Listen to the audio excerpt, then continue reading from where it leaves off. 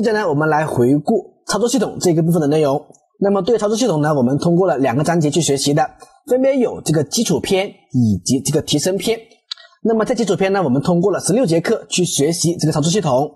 那么对于这个基础篇呢，它其实内容可以分为这几个部分：概览、进程管理、作业管理、存储管理、文件管理以及设备管理这几个部分去学习的。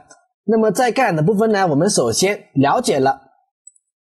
什么是操作系统，对吧？然后呢，我们了解了我们为什么需要这个操作系统，以及我们了解了操作系统的基本功能，它可以管理这个意见资源，并且呢，可以抽象这个资源，以及提供这个用户操作的接口。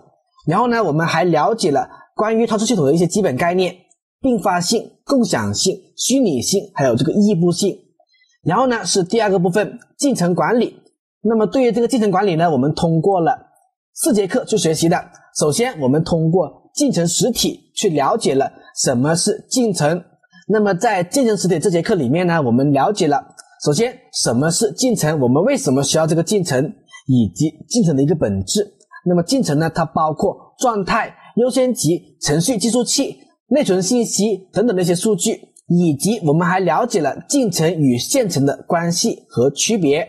接着呢，我们在五状态模型这一节课里面呢，我们了解了进程的五种状态，分别有这个就绪、阻塞、执行、创建和终止的这几个状态。那么这些状态呢，是随着进程的启动、运行、结束而相互切换的一些状态。接着呢，在进程的同步里面呢，我们了解了生产者和消费者问题以及哲学家经常问题。那么这两个问题呢，就反映出我们必须要进行这个进程的同步。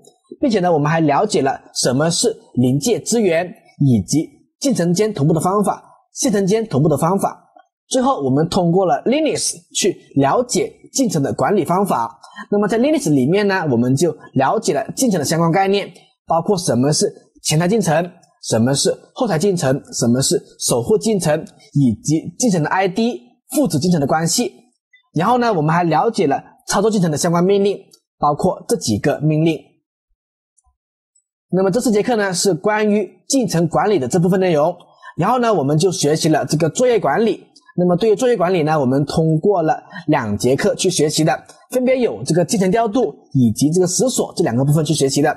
那么在进程调度呢，我们首先了解了进程的调度概述。那么这里面我们需要知道进程的调度呢，它有三种机制是我们需要理解的。那么关于这个调度算法呢，我们介绍了四个算法。分别有这个先来先服务、短进程优先、高优先权优先以及时间片轮转这几个算法的。那么前面的三个算法呢，都是属于非前瞻式的算法，而第四种算法呢，属于这个前瞻式的算法。然后在实锁这节课里面呢，我们就学习了实锁是怎么样产生的，以及怎么样去解决这个实锁的。那么这里面呢，我们需要知道实锁产生的四个必要条件。以及实锁处理的一个算法，银行家算法，然后呢是这个存储管理，那么存储管理呢也是比较重要的内容。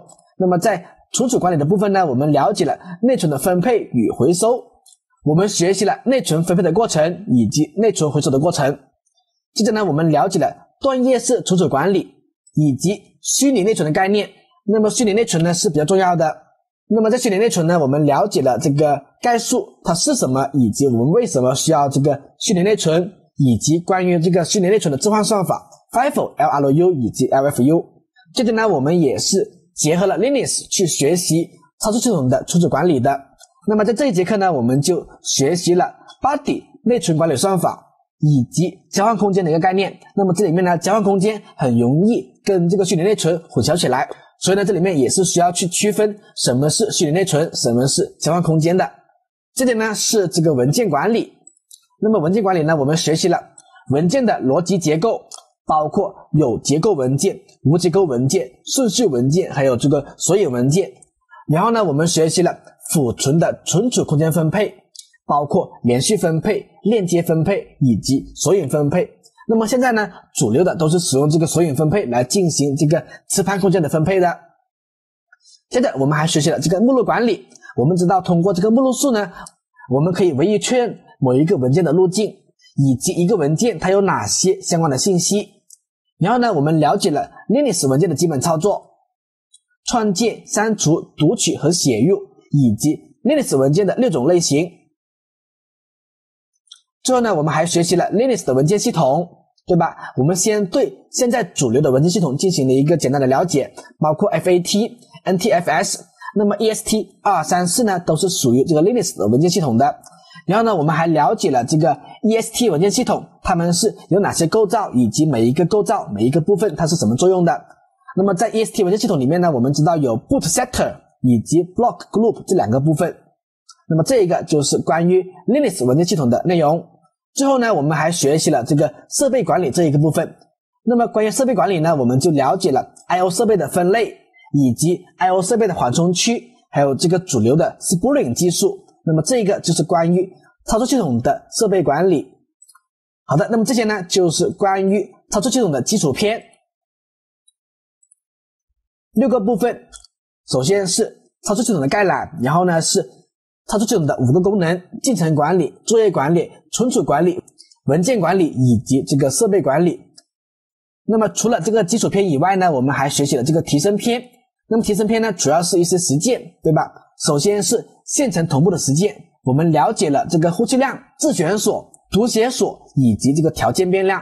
然后呢，我们学习了进程的同步实践，包括这个共享内存以及 Unix 预套机制两个部分。